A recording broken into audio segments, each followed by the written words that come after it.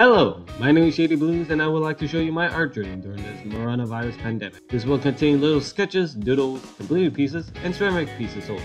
With that being said, let's dive right into it.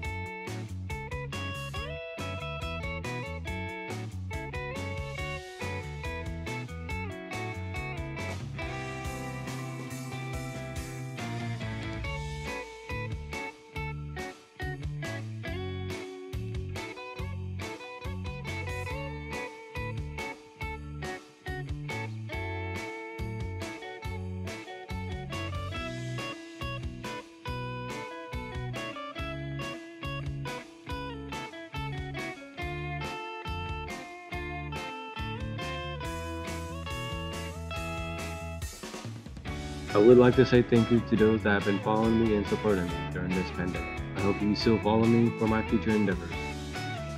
Thank you very much.